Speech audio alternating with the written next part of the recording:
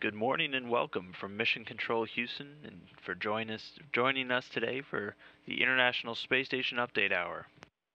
Getting a look now inside as ground personnel in Houston, Texas monitor systems on board the orbiting laboratory. Currently on console, the Orbit 2 team is hard at work and they are being led today by Flight Director Emily Nelson. They are supporting the crew of Expedition 30, currently orbiting on the International Space Station, just passing over Baja California a few moments ago and continuing down the western coast of Mexico. That crew on board again is Expedition 30, and they are being led by NASA astronaut and Commander Dan Burbank there in the front row left of your screen. Then joining him also in the front row is Russian cosmonaut Oleg Kononenko. And then across the back row, starting in the left, are Russian cosmonauts Anton Shkaplerov and Anatoly Ivanishin.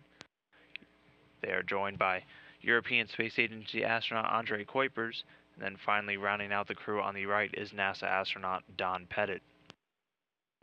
The crew woke up at about midnight Central Time today for another off duty day as they are recovering from a vigorous weekend where they were unloading cargo from that recently docked Progress 46 vehicle, which arrived at the station late Wednesday, late, late Friday evening at 6:09 p.m. Central Time.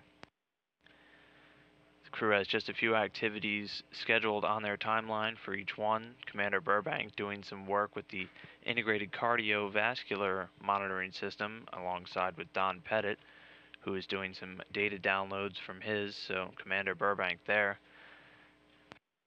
Burbank also did a reaction self-test uh, upon waking today, which is a quick five-minute test that allows crew members to monitor the daily effects of any fatigue due to performance on board the station. Anton Shkaplerov is working today with the Immuno Experiment, a Russian research look at determining changes in stress and immune responses during these long duration stays on board the station.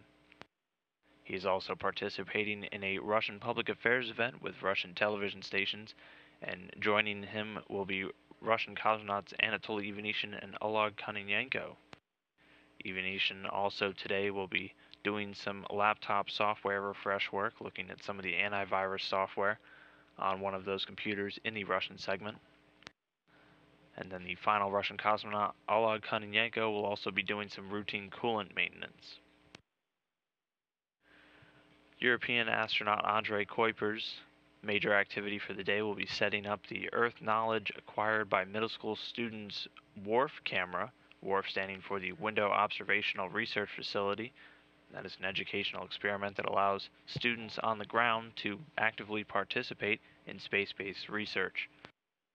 And the final crew member of Expedition 30, Don Pettit, again, is doing some work with the Integrated Cardiovascular System, which is a research study that looks at heart atrophy due to the microgravity environment on board the International Space Station. He's doing some data downloads to controllers here on the ground.